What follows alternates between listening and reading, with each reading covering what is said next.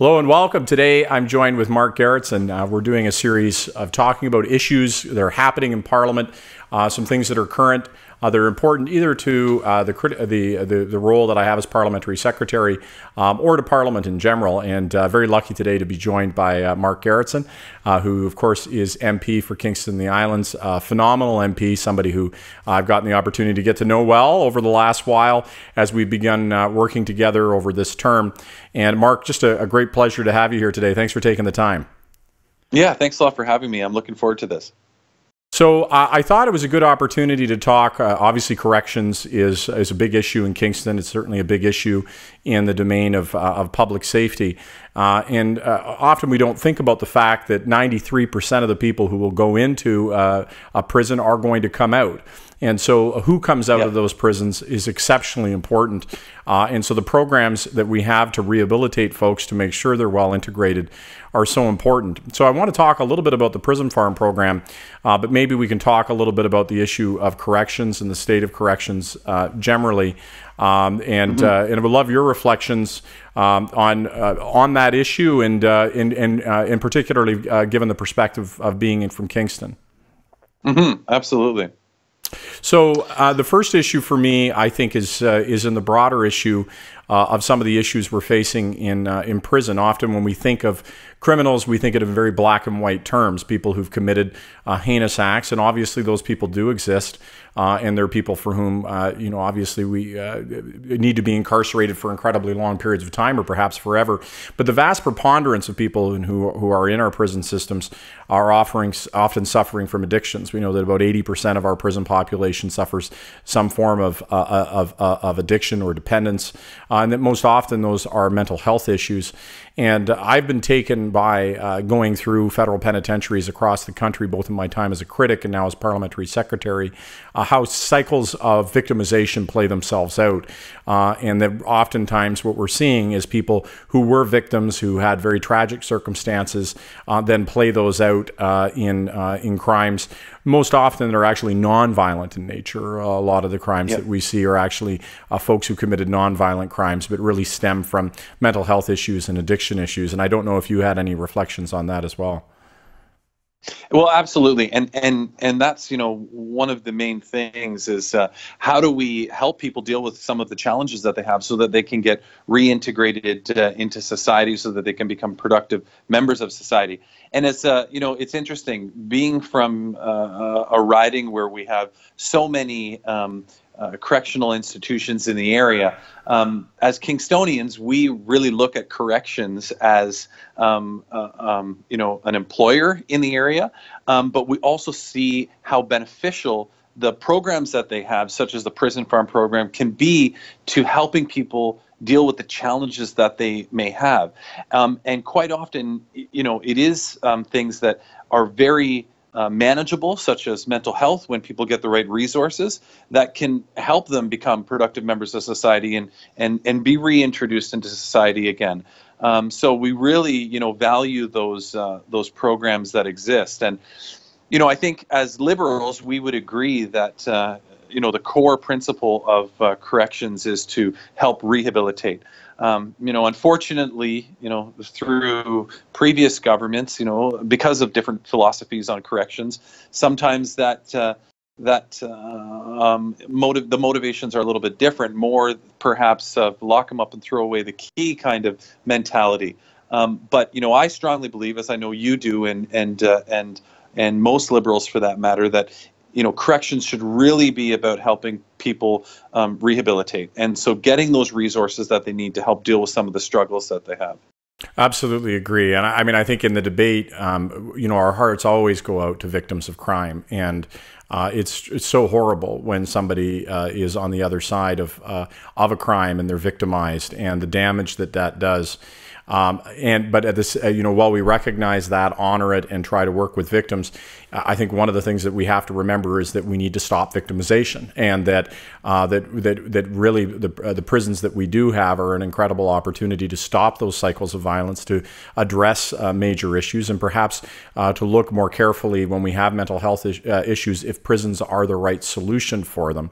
And uh, so these right. things can coexist. And I think it's a false debate to say uh, somehow that being uh, tough on crime and caring about uh, what's happening in our prisons, caring about the people that come out are somehow disparate issues. Um, you know, and I'm sure you have stories to share. Uh, one of the ones that really touched me uh, when I was in committee of public safety uh, is an Aboriginal uh, uh, gentleman who was uh, from the the Akwesasne, who was a victim of the residential schools program, who was suffered uh, just really horrific abuse, um, you know, at, at, the hands of a program that was a federal program, uh, and who went on to commit uh, nonviolent crimes um, to feed a drug habit to because he was self-medicating. He was dealing with the pain and trauma of what he'd experienced in the residential school program, and somebody who went through our prison system and who came out and now is a champion for Aboriginal youth and helps young people to uh, to work through their anger and their pain and their suffering in a positive way so that they don't make the same mistakes that he did and has become a real leader. And you know when I hear that kind of story, to me that's what our correction system needs to be about is looking at people who uh, who've made mistakes, who've fallen clearly, and uh, but giving them that opportunity to uh, to heal and redeem themselves and be productive members of society. Yeah. And, and, and you're absolutely right. And there are various different um, um, um, resources that people that people can can use if they're available to help them with some of those struggles.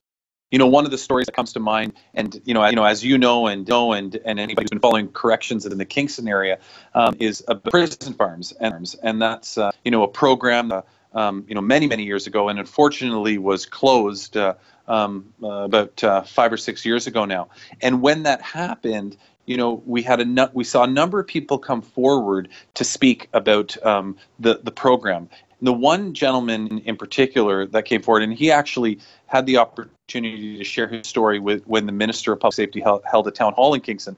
But you know, he told his story, and he he said you know he had been in and out of prison for many years and there had been he had mental health problems and he had um, other challenges uh, um, with just falling into this cycle of of of of being in prison and then getting out and then being sent back and then getting out and then finally when he was able to um, start in in the the prison farm program, he he developed um, you know feelings and emotions that he never knew he had, and he started to connect with the livestock that he was um, you know taking care of. And he says that that just changed who he is as a person. And as a result, when he was finally released again, you know, he had a different outlook on life and it affected the way that he interacted in society. And as a result, didn't continue this cycle and get back into to to uh, to the prison system. So it really just underscores, you know, how important it is to make sure that programs are available for people um, who are in the uh, in in prison and, and who are going through these cycles. And you know, the farm program is not the solution for everybody. So you know, I genuinely believe that you have to have various different resources at people's disposal. Um, if, if, we're genuinely going to be making an attempt to, to help people become productive and to become contributing members of society, and, and I really think that what it comes back to is you know the current government of the day their philosophy on on on on corrections what it's all about um, you know, and, and sometimes there are people who literally need to be locked up forever. Um, but as you indicated, the vast majority, um, you know, this isn't the case. They just need to have the resources to be able to find their way. Yeah, I completely agree. And I think sometimes when we think of prisons, we uh, our minds go to the worst criminals and the worst crimes and uh, and certainly those exist and those are horrific and we need sentences that put those people away. But we lose sight of that huge swath the vast majority of the population um, that are nonviolent that are really um, uh, are people that uh, that have issues that, that we want to see helped because they're going to be back on our streets. And no matter mm-hmm. how long the sentences are, you know, you look at California as an example, and, and you know, in, in different states that adopted this, uh, you know, you lock them up and throw away the key philosophy that you're talking about. It's an abject failure you know it's it may mm-hmm. on, on some level it may be emotionally appealing uh, that you have uh, this idea of locking up somebody and throwing away the key but the, the evidence is overwhelming. Whether or not it's Australia, the United Kingdom, the United the United States. In fact, Newt Gingrich, who is the father of the mega prison movement, himself said um, that this was an, uh, his the biggest failure of his political career. Uh, and and yeah. when you look at the violent recidivism rate in the United States, uh, in certain states it can be you know up up, up and around twenty percent. Uh, in Canada, we have a violent recidivism rate that is a rate at which people reoffend uh, in a violent way of less than one percent you know, and that's that's something I think it's important to keep in mind in this process as well. I, I just want to go back because you, you brought up the prison farm uh, program, and it's one of the things that I wanted to talk to you about today because I agree with you. It isn't the total solution, but I think it's emblematic of the of, of, a, of maybe a different kind of thinking in corrections, and I think it really merits attention. Uh, Wayne Easter actually was the first person who brought it to my attention when I was a critic. And when I first heard it, I, you know, I'll be honest, I, I thought it was kind of a little bit airy fairy, a, a prison farm. I couldn't really figure out what it was. Um, I didn't, I wasn't particularly uh, moved by it, but I had the opportunity to, to come to, uh, to Kingston and go to Frontenac and, and, and look at uh, the facility. And I also went out east uh, and looked at facility there. Um, and, uh, and we also visited one in the prairies. And the stories, as you indicated, were, were so moving, both because it bred empathy working with animals.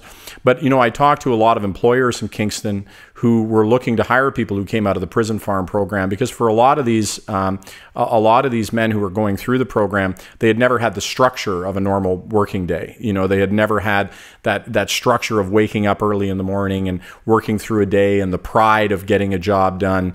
And so they came out with this really great structure of work ethic. So there was all this criticism of well what are good are farming skills? But you know I don't know if you can speak to it but what I heard in Kingston was that it really bred uh, essential life skills for these folks who were coming out um, and made a huge difference um, to their lives in terms of being employable on the other side. Yeah, absolutely, and and that's you know I think one of the shortfalls of the previous government, and you know I'm not trying to get you know political here, but you know it, it was the previous government who made the decision um, to close the prison farms, and when they did that, you know, one of the reasons that they used was, well, nobody is graduating, so to speak, from this program and going and working on a farm.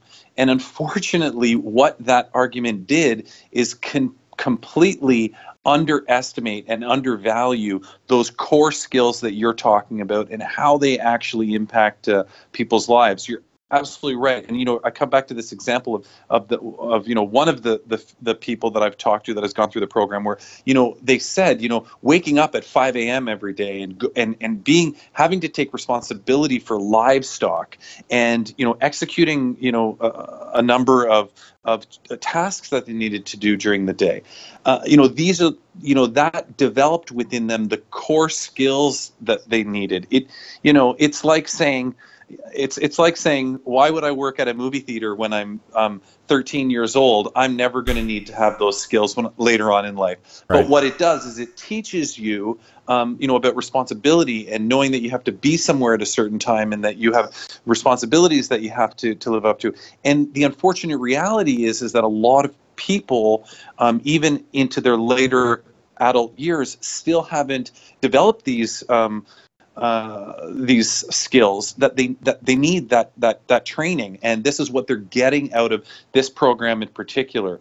Um, you know I, I, can honestly say that in the 12 years that i've been in, in politics in kingston there are few issues that the whole community at one degree or another either passionately or just you know mo- uh, to moderately interested really kind of get behind and this is one of them. And I think it really took the correction Corrections Canada by surprise because you know they were like, well, well why why do people in King like why do Kingstonians care? These are prisoners. Like you know why do they care about this stuff? But it, you know it, it uh, it underscores the fact that in in our municipality people look at corrections perhaps a little bit differently because we're so connected to it. You know, we all know people who work in the prison or we've heard stories of different things that go on. And so, you know, we we value those programs and why they're so important. And you know, the prison farm one was one of the ones that the community just got behind and said, no, this isn't right. We can't be doing this. And and to this day, six years later, after they've been closed, you know, every Monday night you drive in front of the uh, the Collins Bay uh, slash Frontenac institution, and you see people still picketing outside um, over the closure of this. It's uh, you know, un- you know, it's uh, it's it's unfortunate what happened, but it really shows the public interest and the public's understanding of why this stuff's important. And I and I think that passion uh, comes from somewhere, right? I mean, it's it, it, mm-hmm. I think as you say, it comes from the direct experience of seeing uh, how transformative that program is and how it is able to be such a powerful tool for rehabilitation for people who, by the way, are about to be released. Um, you know, these That's are for individuals who are at the end of their sentence, who are right. going to be, uh, you know, uh, walking onto the streets. And I think that's sometimes something we forget. We think, oh, these prisoners, you know, uh, having these benefits in prison. These are people on the cusp of being let out, and we have to ask right. who we want to walk out those doors. And, uh, you know, and, and, one of the things I, I was just out in August uh, and I had the opportunity to visit a, um, a, a, a, type of prison farm, kind of inspired from what happened in Kingston, uh, set up by uh, an inmate uh, who uh, was in for life. Um, and I, I don't know the nature of his crime, but he was he was there uh, and he was there with his wife, and they cut up this this farm where they allow the victims to come and grow alongside uh, people who are coming in for the day from the prisons. And I had the opportunity to talk to victims, and I had opportunity to talk to inmates uh, about that experience of working side by side uh, in gardens and working um, uh, to to husband animals. And it was so powerful. I talked to one gentleman whose uh, son was very tragically murdered, who was in all kinds of pain, who said it really wasn't until he was in there and got to meet uh, some of these individuals who committed crimes uh, and see the, um, uh, for example, this gentleman who said who was who, who had uh, committed a, a, a, heinous crime at some point, who said he can never make up that that that uh, that that that error that he made. All he can do is try to make it a little better. And if a victim comes in and wants every vegetable in that garden, it's theirs to have. To try to find some way to, in, in the smallest way, make up for for the damage that they did. And so this gentleman who was the who was who had a son who was murdered, breaking down telling me how uh, his pain had been let go, um, that you know his healing was uh, was was was so integral to that process, and uh, and I think you know that's uh, those are the most hor- horrible examples, and those are things perhaps which people can't come back, but there are. Um, there are so many examples um, where uh, where people have fallen in a way that is not not violent and uh, where where we can intercede before it becomes so much more tragic.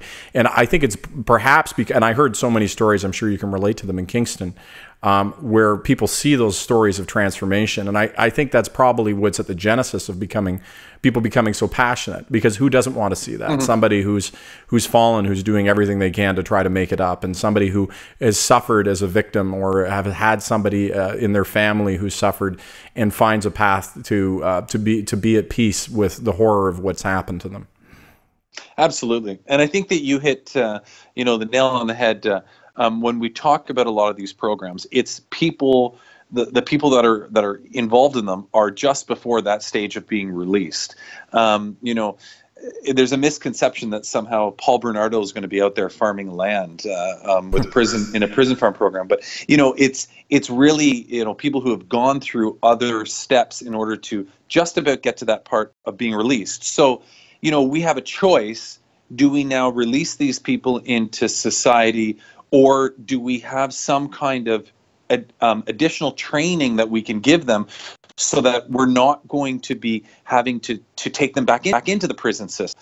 And um, you know you, you, you know you, you talk about that and uh, um, you know, the example the, the other example that you use of this farm where the where the the um, uh, inmates are coming together um, with victims. I mean what better healing process. If somebody is ready for that in, right. in in in their healing what better healing process than to do that and to, to to bring them together where you know there's there's that genuine you know connection and and people can can genuinely heal with each other. I mean uh, uh it, it's extremely moving Yeah, absolutely agree. Well, one of the things, you know, and we kind of alluded to it as we were moving through the conversation, but uh, this is a very nuanced issue. Obviously, it's an issue that, you know, I was fortunate that we have the time to be able to discuss it in all of its different facets, but it's not an issue that readies itself for rhetoric, right? Because if you if you say, well, crime is complex, the solutions to creating safe communities are complex, um, dealing with the aftermath of crime is complex and it requires a real dialogue that you know it doesn't fit well into a soundbite where the opposite which is lock them up and hang them high uh, you know it feeds you know obviously we're angry when we see a crime yep. happen and it feeds into the idea that you know if things were just black and white there were bad people and good people this all would be so easy uh, you know, what are your thoughts when you know? And I think about it from a public safety perspective and how we're dealing with it in a department around how do you think we engage folks in that conversation and how we overcome overcome some of the complexities of the messaging? Do you have any thoughts on that and some lessons maybe from Kingston, which is a community that I think really gets it? You know, I think um, that you raise a very good point, but I think that you know you can point to a lot within government generally speaking when when when you talk about how do you address problems almost preventatively. You know it's about in my opinion putting the resources in in in advance. So you you help people um, by you know um, you know how do you how do you message things? How do you communicate with people to to encourage them to you know act in a more responsible way or, or not commit crime? And i think that that's what a lot of it has to do with um, is making sure that um, you know from the outset you know you're trying to to to do things in a preventative way. We seem to want to react to things afterwards all the time. You know um, and yes sometimes you know you know people might be angry because of something that has happened and they want to lash out um, but you know, you can say this about so many different parts of, gov- of government. How do you do things in a more preventative way? The same thing can be said for you know health care. You know, sure. if we put a fraction in preventative health care, we're going to reap, you know, the benefits of not having to deal with the after effect. But I think by default, government quite often tends to be reactionary. And I think that if there's, you know, a lesson to be learned from the experience that, you know, corrections went through and the lessons that we're hearing um, you know, those who are affected by the prison farm program in particular, the lesson is invest in me beforehand and it will save you money later on because we're not going to have to deal with the problems that are reoccurring people continue to cycle through the prison um, um, population uh, in, in particular in this example. So i think the real lesson to learn out of this is that there is a lot to be gained from preventative um, uh, measures by investing in people before you know we're at a point of where it's being re- reactionary. Yeah, it's really well articulated, Mark. I mean, I think you know when we talk about our national crime prevention strategy as an example, where we try to take best examples of how communities build capacity at a local level so that they can be shared across the country uh, and emulated um, so that people never go to prison in the first place. You know, I mean, when we see that yeah. first negative interaction that a young person has with the law or with their community, that interdiction at that point is so vital. Uh, you know, I was moved, I, I, was moved by uh, being out in uh, some of the worst neighborhoods uh, going through um, uh, Regina and, and, some terrible neighborhoods. Uh, the, the former chief of police driving me through and saying, I can point at a kid at a particular age and the crime that they've committed, and I can tell you his entire rap sheet for the rest of his life because it's that predictable. And, and, yeah. and that we're waiting in too many instances for that problem to manifest in a serious crime. And then all the attention is on being reactionary to that crime and what is the sentence for that crime when there were so many opportunities 5, 10, 15 years earlier in that person's story where an intervention yeah. would have stopped any of those crimes from happening and would have allowed that person to become a productive member of society. Absolutely. And leave the whole social part of it aside and just look at it from the economic part. I mean, it costs so much less to invest earlier on than to be reactionary. So, I mean, even if, you know, um, you're of a more you know right wing kind of approach to this. Just look at the economics of it. You know, it it it costs less to invest earlier on as opposed to trying to be reactionary later on. Um, you know, and then of course there's the social benefit of it too. Um, and you know, I think if if we you know really look to other countries that have been successful in keeping crime rates low, um, you know, I'm sure you'll find that there's a lot more investing um, in the in in the upfront, um, um, as opposed to countries that have gone kind of another route and privatized prisons and and uh, and stuff like that. I just you know, I think that there is a lot to be said about investing in the upfront uh, when it comes to this. But you know, as you and I would both know, that's uh, politically challenging. It's always hard to put money into something that comes off as abstract because it's extremely difficult later on to quantify what the results of it are. It's hard to say, well, we invested all this money, um, and you know we have to wait a long time before we actually see the return on it, and uh, you know that takes uh, political will and uh, and and with the various challenges that that we face politically, it's extremely difficult to do that from time to time. It is because, as you say, uh, you know, 5, 10, 15 years from now, we just wake up in a safer community. Uh, there's no ribbon to cut. There's no, uh, the government that probably did it is long gone and everybody's forgotten them. And so it is, it's a, it's, it's a particular political challenge. But I think your, your point is a really salient one around looking at other jurisdictions, uh, you know, looking at the hard evidence and really taking the emotionality out of this question and saying, look, we all want safer communities. It doesn't matter if you're on the left or you're right or what political party you're with. We want less victims. We want less crime. We want safer communities you know, we want to the best of our ability to put prisons out of business so that because there aren't yep. crimes being committed. And there are some great examples globally of programs that are successful. And by the way, the prison farm program is one of them. And, uh, and it requires, uh, you're right, it requires political will and a more complicated debate. And, uh, and, and, and that's why I, I'm so appreciative of you engaging in this discussion today, Mark. Yeah. Uh, absolutely my pleasure. It's, uh, it's been a great discussion. Great, and one that uh, we hope to continue uh, on this and other issues.